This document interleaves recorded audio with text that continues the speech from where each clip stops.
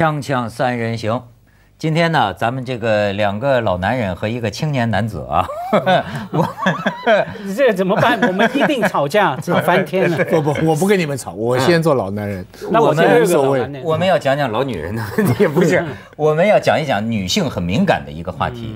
这个话题从哪儿来啊？从咱们的一个女嘉宾扎建英老师啊。这个扎建英老师呢，她现在人呢在美国，所以呢，我们可以说他两句。他这个人呢要，在场的话，你是说不过他的。徐老师，你经过长期的交往，你发现没有，扎老师这个人呢，实际他是有多面的。他既有啊，就是好像很和蔼可亲的这么一面，另一方面呢，他有这个很厉害的一面。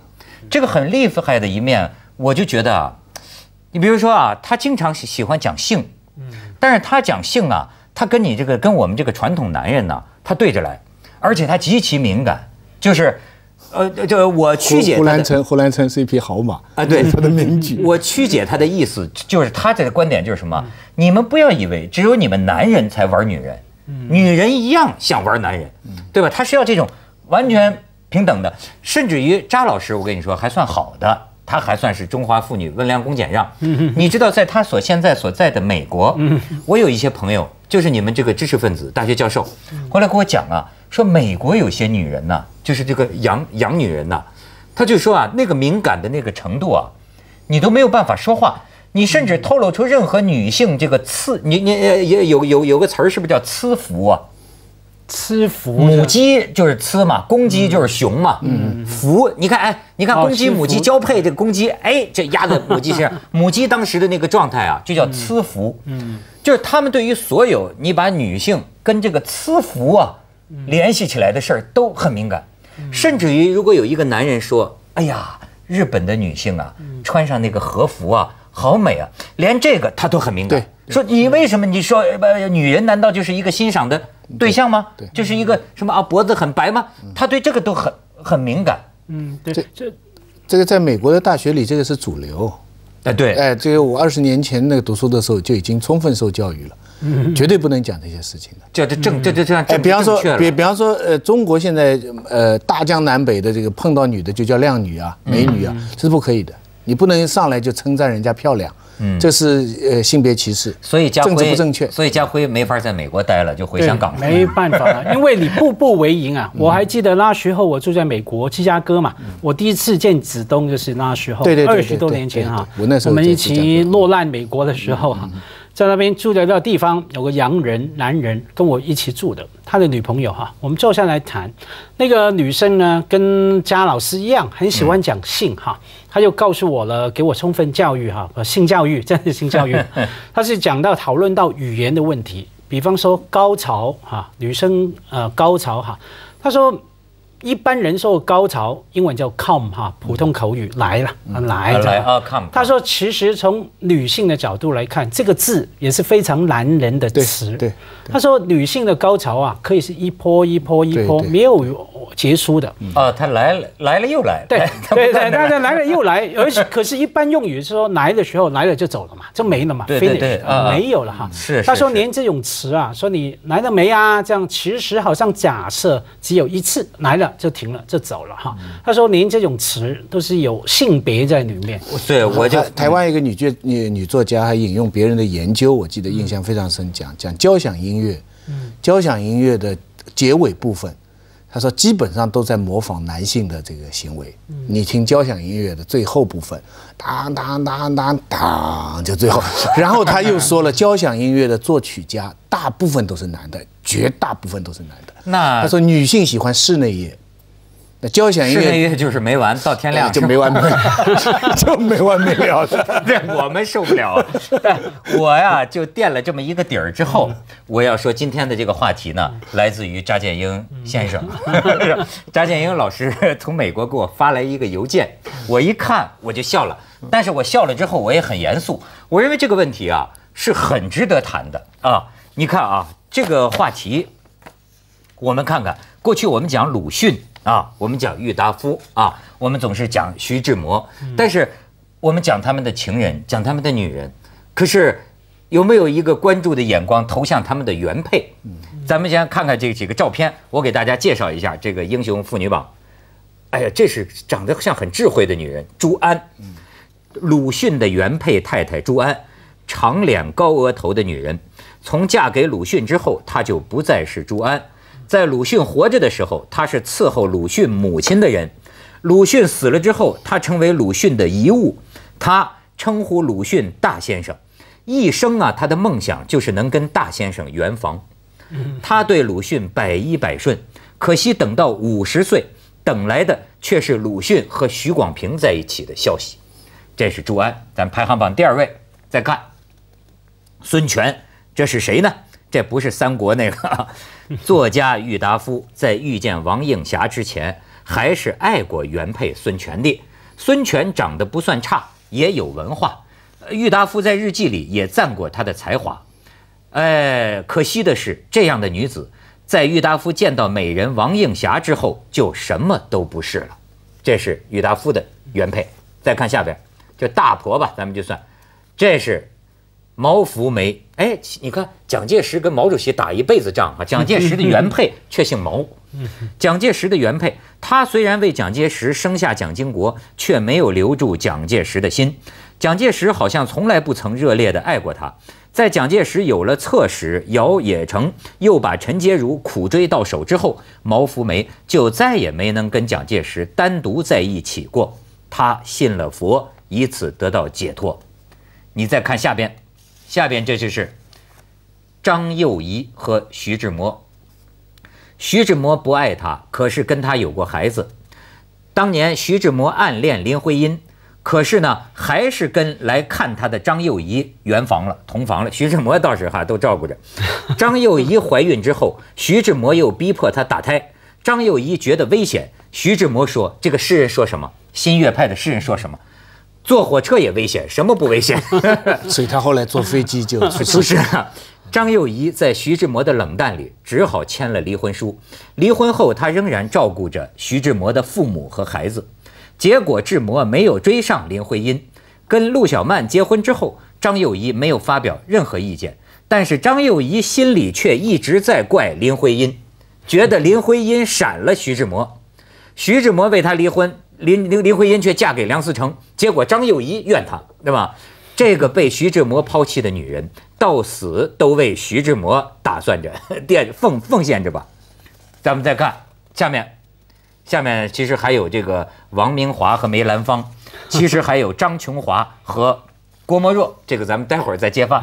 咱就说，看听完这段之后，两位这个男人，我我文学男男粉青儿，我每次听到这种说法哈，嗯我都替另外的女人呃觉得不值得哈，不值啊。嗯嗯因为这样，你刚整个说法好像是说那些男人都是只因为后来的女人的美丽青春而把原配抛弃哈。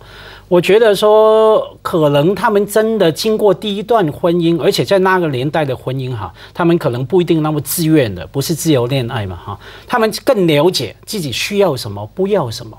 所以后来另外一个呢，除了青春貌美以外呢，可能有其他部分更符合他的理想。其实从那个男人的角度来看呢，后面那段才是幸福。嗯他跟前面的离婚不能用抛弃两个字嘛，分手嘛。完全分手嘛，哈，所以我觉得刚才的叙述哈，我不晓得加先生 这个电邮给你这个到底想表达什么？是说 想表达说男人只要你结了婚就不能分手吗？不能离婚吗？你分手离婚这是坏蛋吗？我觉得里面还有很多可以探讨了，不一定是呃抛开，用抛开这个字已经非常非常不对了。就是我主观的臆测哈，嗯我认为扎先生的意思是说呢，就是说这个文学史啊，你们平常讲鲁迅、讲徐广平讲得多，大家的着力点好像都在这儿，但是他可能是想啊，哎，有谁想过这些个女人，或者说从今天的眼光看？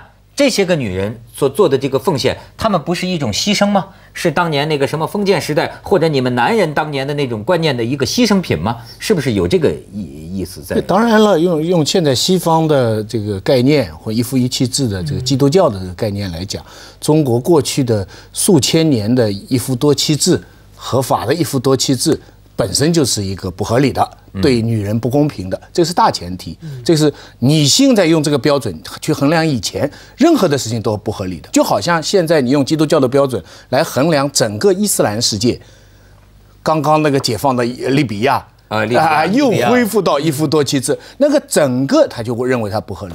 但在这么一个大的历史的这个变迁当中，每个人的做法很不一样。比方我这里边最熟悉的是朱安跟跟这个孙权的故事，啊，他们两个人，鲁迅跟约达夫呢，就采取了很不一样。他们有相似的地方，他们之所以他们其实跟这个原配夫人结合的时候，就是被迫的。两个人都不愿意，两个人都在日本留学，都回家说不要了，因为他已经到了日本了，已经接触到现这代的空气了。这个我插你一句哈，就是当年鲁迅的这个不肯跟朱安圆房啊，鲁迅的这个行为经常让我想起我二大爷，你知道吗？我 我们家的一个一个大爷，就是当年就是这样，他这个很奇怪，在山东啊，就是他就是安排的这个婚姻，安排的婚姻，结果呢，他就嫌这个新娘啊脚不好看。他好像这个脚当然就没有爱情了，这个性格倔到什么？就他爹拿着大棒子，把他打到新房里，外面加上锁，在里面新郎新娘锁了三天，我这二大爷就蹲在地上，成功了吗？蹲了三没成功，蹲了三天，就是不圆房，充分发挥了鲁迅的硬骨头的 精神。不充分。不是，我们发挥得先去一下不充分我们先去一下广告。徐老师对这个鲁迅和郁达夫这些姓氏啊，他是非常对他对非圆房的常了解技术 对对更了解呃听徐老师讲课啊，锵锵三人行，广告之后见。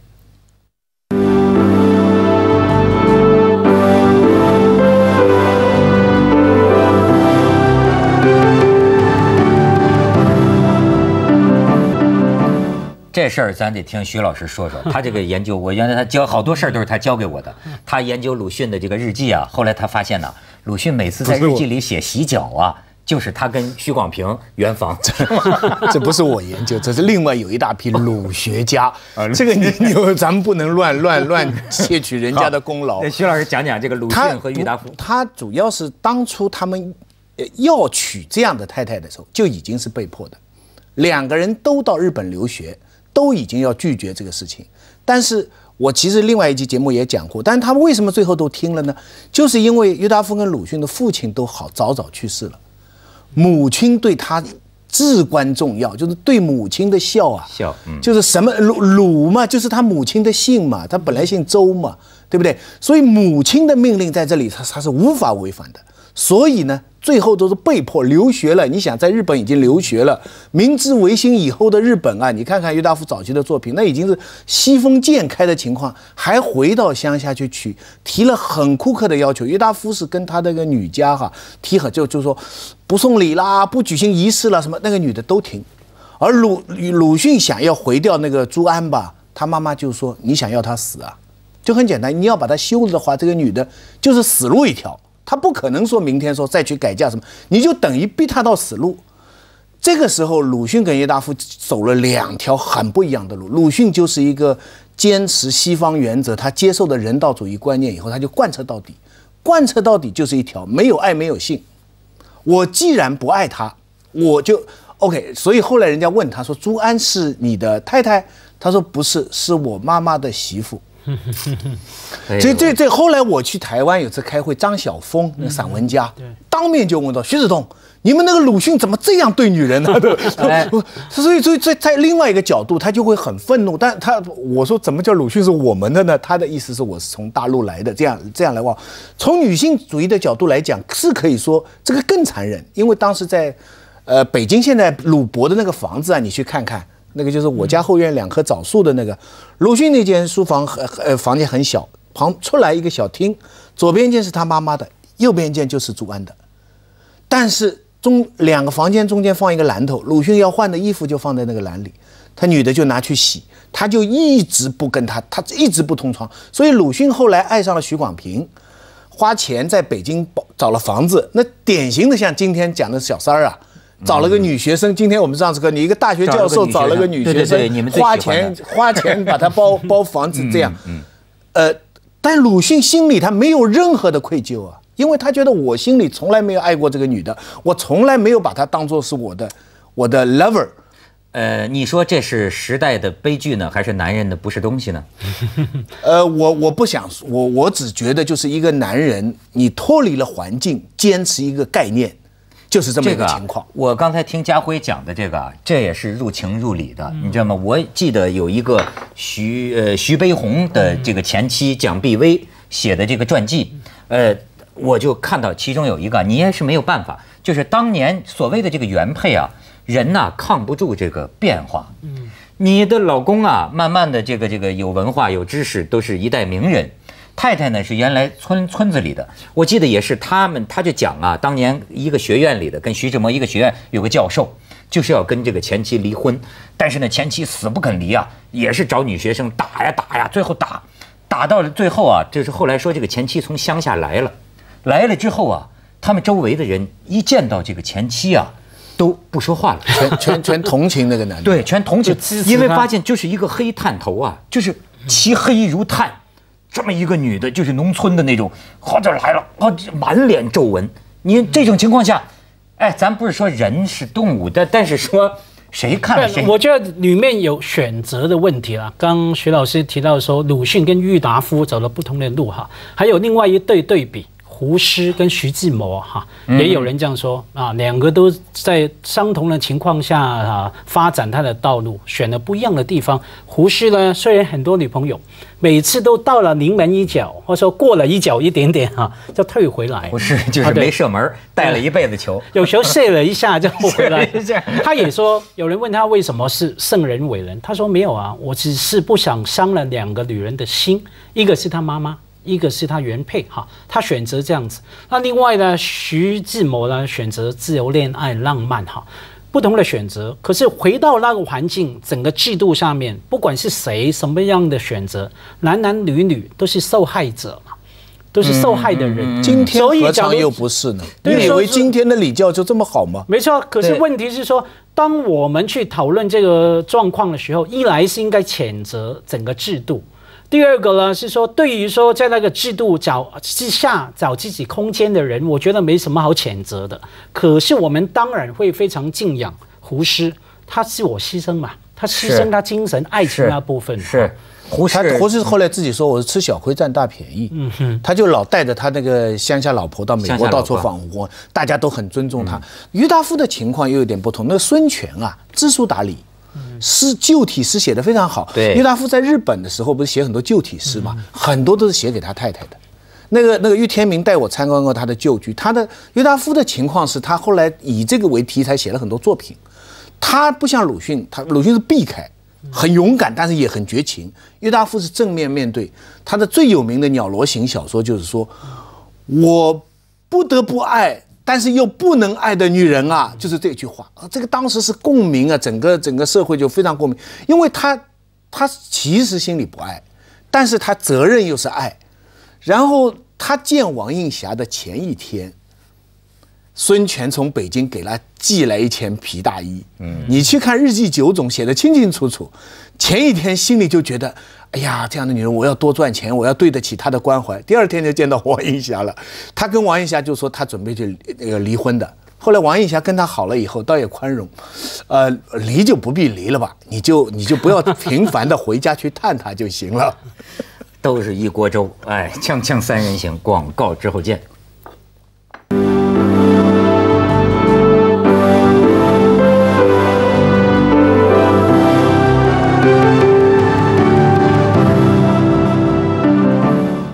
咱们还可以介绍一下一个成就伟人的女人啊，说民国滥情的文人，这不是我说的啊，民国滥情的文人 郭沫若可谓其中之一了。所以张琼华在这些原配太太里算是最不幸的。郭沫若娶了张琼华第五天就离她而去，一别就是六十七年。张琼华在这六十七年里等待着、盼望着他能回来，郭却在日本娶妻生子。那个女子叫安娜，可是郭沫若在回国后还是抛弃了安娜。张琼华再次见到郭沫若时，等来的是郭沫若跟他的第三任太太。他什么都没有说，还把跟郭沫若结婚时的房子让出来给他们住。郭沫若对张琼华的回报是写给他两首短诗，并且对他说：日子过不下的时候，可以用来换钱。可是就是这样的话，就让张琼华受宠若惊，觉得这辈子都没白活。哎，这个可能也有点演绎的成分啊。但是呢，这提到一个问题，就是说，你看现在有些女权的就讲了，凭什么女人要成就一个男伟人？啊，凭什么这就是好像值得尊敬的这个这个妇德呢？不，这还是回到我们刚才讲，你要回到那个时代里，这个女的也别无选择。你要是朱安，当初鲁迅把她休了，他就是死路一条，就这样。张琼华要是他当时跟郭沫若，他说你郭沫若走了，那我就另外找人了，呃，好像也不是出路。有这样的情况，王映霞就是，王映霞后来跟郁达夫弄弄翻了以后，王映霞后来嫁给了一个商人。平平静静的过了几十年，她后来在重庆结婚的时候，电影制片厂来拍片子，所有国民党高官都来祝贺，因为她要，他要洗掉之前郁达夫给他的这份委屈。我我见到他的时候七八十岁，老太太真漂亮啊，七八十岁，七八十真漂亮。王映霞这个这哎非非常优雅。那个安娜的故事怎么样啊？郭沫若两次啊，一次是在日本。三七年的时候，快要打仗的时候，约大夫不来叫他回来吗？这很有名的。他半夜小孩也不叫醒，老婆也不叫醒，悄悄地走掉，回来承担抗日的重任，做那个抗什么第三处的处长，那个那个那个周恩来下面。后来四九年以后他回来，他是为了抗日离开的日本老婆。哎哎，离离开不不 后后来后来日本老婆又来，但是到四九年回来以后，因为他要做呃政务院副总理，要副委员长，所以给他安排了第三个妻子。安娜一直住在大连，一直我们党和政府养着他，他就痴心的等着郭沫若。安娜一直住在大连。日本接着下来为您播出《珍宝总动员》。